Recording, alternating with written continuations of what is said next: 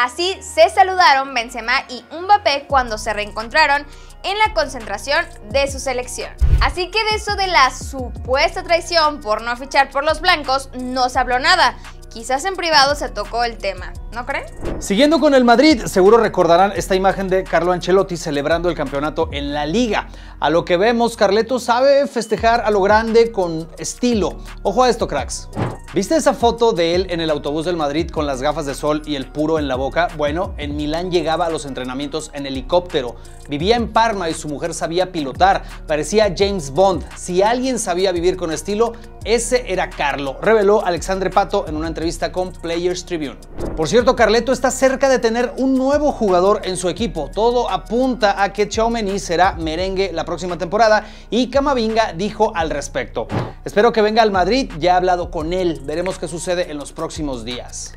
Y en cuanto a las salidas, el club se despidió en redes de Gareth Bale e Isco, quienes como sabemos ya no estarán la siguiente temporada. Cracks, recuerden que todos los días tenemos videos para ustedes. No olviden suscribirse y activar la campanita.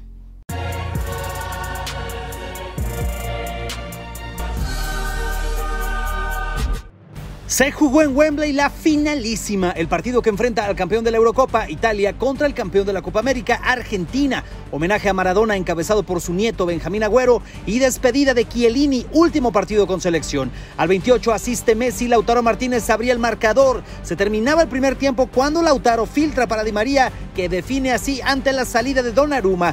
En la última jugada del partido, Paulo Dybala, que había entrado al 91, marcó el 3 por 0 definitivo. La albiceleste se llevó la finalísima y además ya suma 32 partidos sin perder de la mano de Scaloni.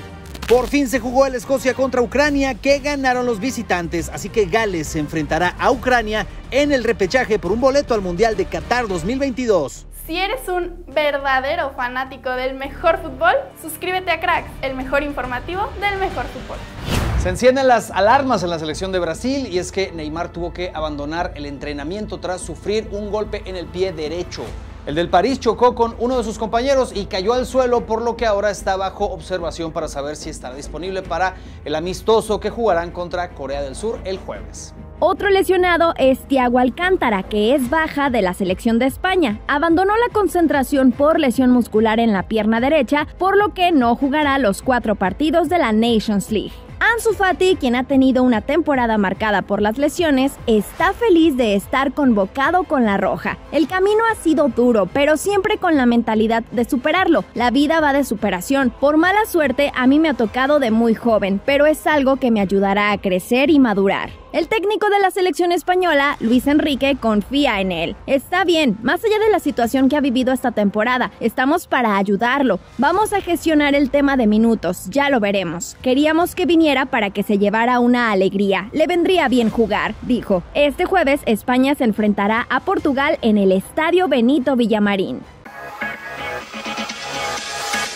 Quiz, cracks, ¿quién será esta estrella en ascenso? Véanlo bien. ¿Quieren una pista? Juega en un equipo top de España.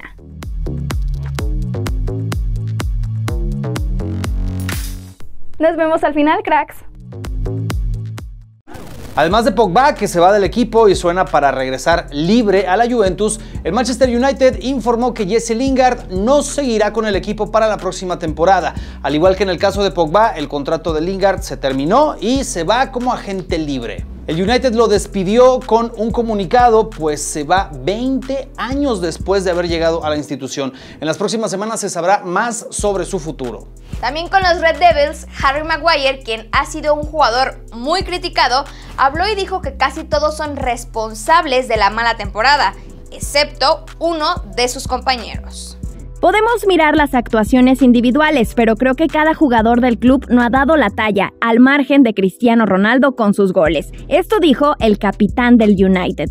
Por cierto, pese a los rumores, parece que Maguire se quedará en el equipo. La próxima temporada será una temporada diferente, pero creo que hizo un gran trabajo. Es un gran jugador ya que ha logrado mucho con sus contribuciones, así que estoy ansioso por trabajar con él, dijo Ten Hag cuando le preguntaron por el defensa inglés. Las noticias breves que tienes que conocer sí o sí en corto. El gol que le anotó Pedri al Sevilla en la jornada 30 fue elegido como el mejor de la temporada en España. Liverpool y Manchester City se verán las caras otra vez, ahora en el Community Shield que se jugará el 30 de julio en el King Power Stadium, pues Wembley será sede de la Eurofemenina. 2 millones de euros recibirá el Paris Saint Germain, pues el Niza oficialmente compró a Marcin Vulca, a quien tuvieron cedido esta temporada. Desde España aseguran que el Cholo Simeone quiere a Raheem Sterling para el Atlético de Madrid, pero el salario del inglés podría complicar el fichaje. Frank Ribery seguirá jugando a los 40 años después de que la Salernitana haya renovado automáticamente su contrato por una temporada al salvarse del descenso. Silvio Berlusconi, dueño del Monza, recién ascendido a la Serie A, reveló que ya le preguntó a Mario Balotelli si le interesa fichar por su equipo. Cracksfer, parte final del video. Oigan, Sergio Busquets está con su selección y tuvo una conferencia donde le preguntaban que si el Real Madrid, que es el, ganador de, la final de la Champions, era justo ganador y esto respondió. Si la ha ganado es porque se la ha merecido y, ha llegado hasta ahí y, ha jugado a la final. Independientemente de cómo hayan ido las eliminatorias y, los factores que puedan influir, eh, al final puedes tener un poco de suerte en algún partido, en algún momento, pero a lo largo de, muchas eh, yo creo que, no existe, ¿no? Entonces, eh, todo eso hay que buscarlo y si, si ha ganado hasta ahí es porque se lo merece y es justo campeón. ¿Cómo ven, cracks? ¿Están de acuerdo con él? Los leemos aquí en los comentarios. Parte fundamental en la reestructura del Barcelona con apenas 17 años. Gaby pinta para ser una de las máximas estrellas del fútbol mundial. ¿Adivinaron? Y bueno, cracks, nos despedimos con este tema. Ya saben que de este lado hay otro video para que lo van a checar. Aquí abajito están nuestras redes sociales, canales hermanos, titulares especiales, mucha información que obviamente a ustedes les interesa. Así que Fer, nosotros nos vemos en, el, próximo video.